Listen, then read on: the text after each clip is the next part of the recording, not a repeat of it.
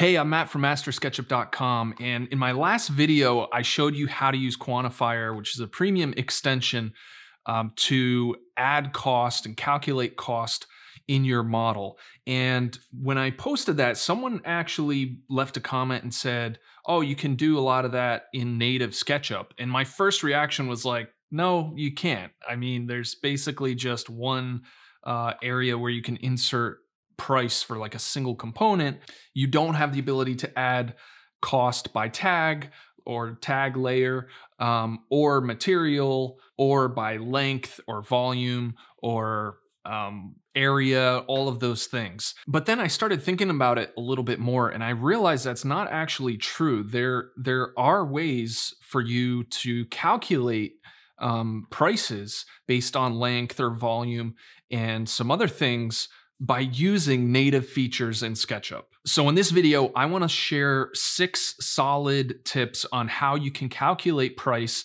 um, through a number of different methods using just native SketchUp features. So let's go ahead and dive in.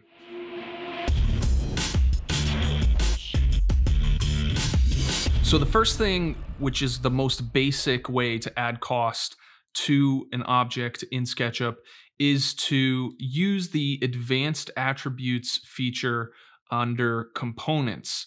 So whenever you have a component in your model, this only works for components and not groups. Um, there's the advanced attributes uh, feature here that you can expand by clicking this button here, and you can type in a price. So this will work great for just adding a fixed cost to a component um, and then creating a report showing how many of those components exist in your model and showing the price. So for this example, I just have like an anchor bolt in here. We can pretend that this is, uh, you know, like, I don't know, a shed or something. And for whatever reason, we're anchoring it down. But uh, so all you need to do is add a price here. And then if you go to File, Generate Report, we'll create a new template and we'll drag the entity name. Now, um, there there is a bug here. So when you first drag a attribute, you see the the black circle. So it doesn't let you drag it. But if you do it a second time, for whatever reason, it allows you to do it. So I don't know why they haven't fixed that yet. I've reported this bug before. Um, so we have group by entity name and then we're going to just bring price into here. So let's run that report. So we can see the JBolt anchor has a price of $5. Now let's go ahead and copy this bolt throughout the model a few times just to see how the report is updated. So I'll just use the, the move tool with the control key to indicate I want to copy, and I'll type in times two to indicate uh, an additional copy there.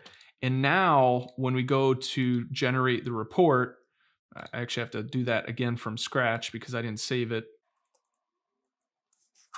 So now when we uh, run the report, notice how it still says $5 even though we have additional uh, copies of that component. So to fix that, all we have to do is go back and click the little gear icon next to price and we can change um, how that attribute is displayed. So in this case, we want a total sum. So we'll select that, click accept, run report. And so now it shows a sum of the price uh, for this component. So if we wanted to, we can save the changes and we can just call this sum of price, save to model. So now all the different uh, reports that we create will appear right here. Okay, so that works great when you're adding just a fixed cost to components in the model. But for things like studs, that would be really tricky because you would have to have a different price. So, like, you know, these ones are eight feet, right? So we know the price of an eight foot stud. So we could um, add that price here. But what about these uh, shorter studs here? Um, we would have to like do the math and figure out you know how much we want to uh, account for as far as price goes for that smaller uh, 2x4. So it's not a real practical way to assign cost to your model. But the second tip I want to share with you will enable you to calculate a cost of the total length of 2x4s in the project. Now, the way we do that is by using the length of uh, one of the axes of the component. So for example, if I jump inside this component, we can see that the length of the 2x4 is aligned to the blue axis. So we can actually extract the length of the blue axis of the bounding box of this component. And since, you know, 2x4 is essentially like a cubic shape, um, it aligns perfectly with the length of the bounding box. So let me go ahead and remove these uh, anchor bolts and let's create a new report. So we'll create a new template. We'll do entity name for group by, and we'll put length of Z in the report attributes. So this is the reason why we're able to do this because under the list of attributes, we can report on the length of the X, Y, or Z axis. So let's take a look at this and see what this does for us. So a few things I want you to be aware of. Notice how um, 2 by 4 is essentially the only component being reported on. Uh, the, the model line item here just shows kind of the model context um, attributes. So we can ignore this line item.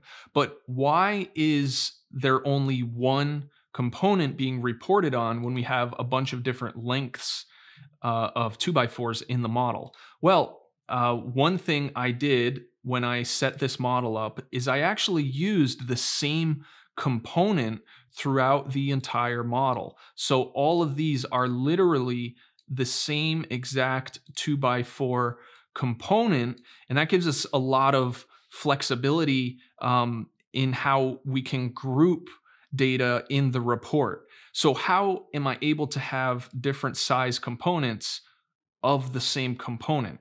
So it's as simple as using the scale tool. So when you're using the scale tool, because you're not um, opening the component to edit it, you're able to resize it without affecting the parent definition of that component.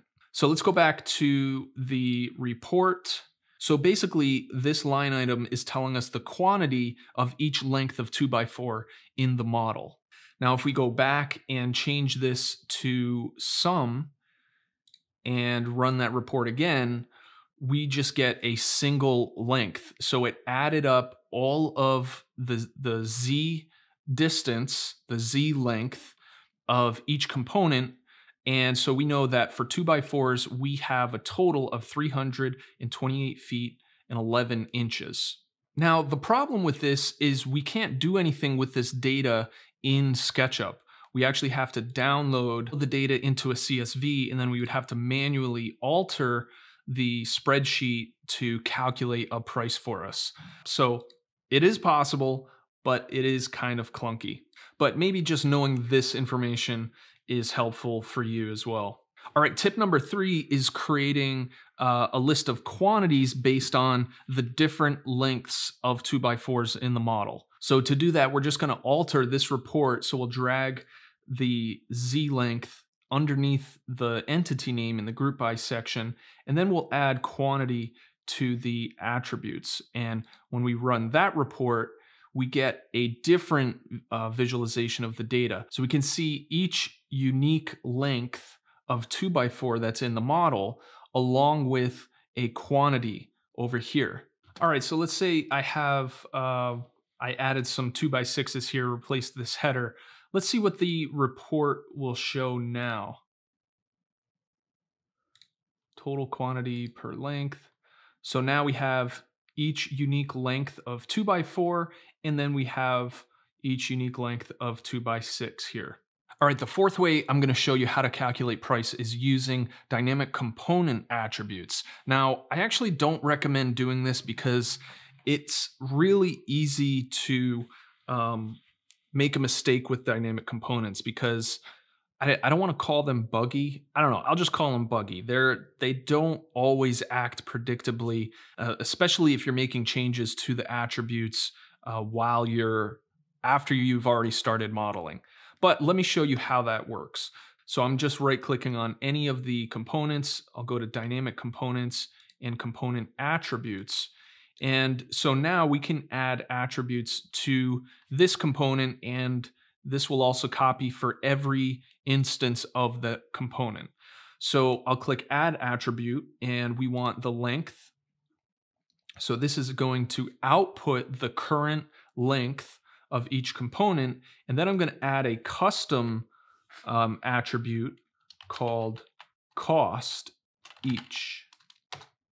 And in this attribute, I'm going to create a formula. So I'll, I'll type equals I'll click on the length and then I'm going to do times times 0.05. So this is always going to be in inches. The unit will always be inches. So um, we're so basically it's saying five cents per inch. And so now that is the price for that specific uh, component. Now, this is kind of the problem I was talking about with dynamic components. So if I click this shorter one, you can see it's showing the same exact price, even though it's much shorter than this one. And that's because of an issue with dynamic components where, where after a change is made, you have to go to the menu and click redraw so it'll recalculate the dynamic component attributes.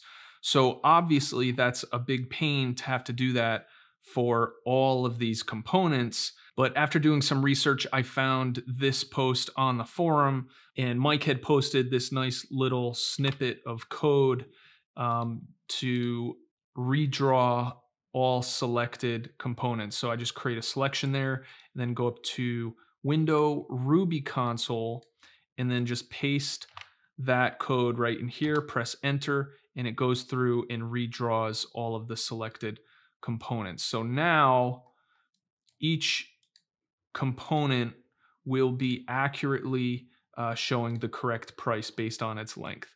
So the cool thing about using this method is you do get a live view of the cost if you have the component attributes window open.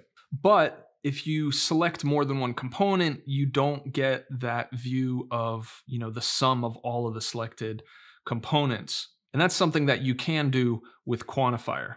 So dynamic components are cool to play around with, but definitely be careful um, when you're doing it. Definitely check multiple components and make sure the price is being updated um, as expected. All right, tip number five is pricing based on volume. So I added some insulation here to this um, model, and I used the same uh, method for creating the different size components. So these are all copies of the same component. I just used the scale tool to size them um, to what I needed. All right, so we're just gonna create a report. We'll add the entity name for the group and entity volume for the attributes. And again, we'll switch this to total sum, click accept, click run report, and we can see the total volume. Uh, we can ignore these first two. Actually, it's worth noting that, you know, when you're estimating uh, different woodworking projects, board foot is actually a pretty common way to price and purchase um, different types of wood. So uh, board foot is actually a measurement of volume because it's basically um, the cost of one square foot of material that's one inch thick. So technically, that's just a measurement of volume. So you can do the math and figure it out from there. But so in this case, we have 101,346 square inches of volume. It would be nice if we could change that um, unit, unfortunately, I'm pretty sure this always is going to show inches. All right, and the last tip, tip number six, is going to be calculating based on area of material in your model. Now, this really isn't a practical approach, but I did want to share it because I don't think a lot of people know that you can actually uh, get the area of materials in a model. So I just added a simple sheet of plywood, four by eight, and applied a random material to it. And if you go to the in model collection and right click on any of these swatches, you can select area and it'll tell you the total area of that material in the entire model. So if I copy this um, sheet of plywood a few times, so we, we now have six copies, and then I select the area, it updates and shows 192 square feet.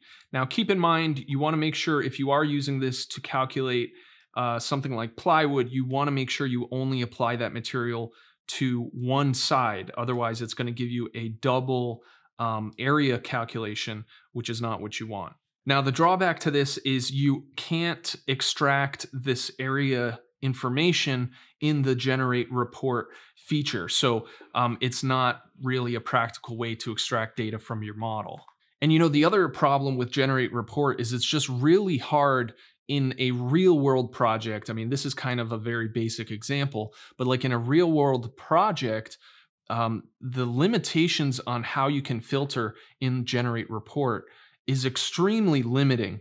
Um, and, it and it makes it really hard to only look at the data you want because you're using groups and components not only for the actual objects in the model, but you're creating assemblies and collections of, of other groups and components. So it fills up the generate report window um, rather quickly. So it's just not a practical way to uh, extract cost from your model. But this is why I love using Quantifier. It just gives you a lot more flexibility in how you assign cost to the model. So you can assign cost by material.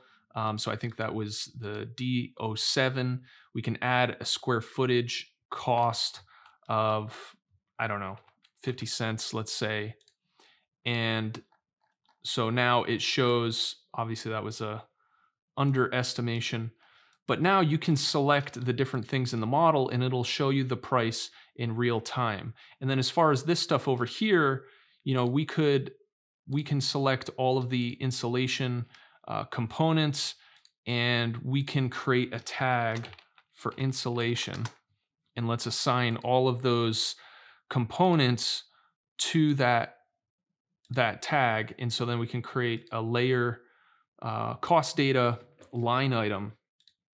So we'll select insulation add a line item and we can calculate based on um, area, volume, weight, all of those different things. So it just gives you a lot more flexibility. If you want to check this out, you can check out my previous video I just did. It goes a lot more in depth on this extension. But the cool thing is if you buy it right now, it's actually on sale for 50% off until August 31st. Um, so you can use my affiliate link at mastersketchup.com forward slash quantifier in order to get that discount. All right, that's going to do it for this video. Thanks for watching. Don't forget to like and subscribe if you haven't done so already, and I'll see you in the next video.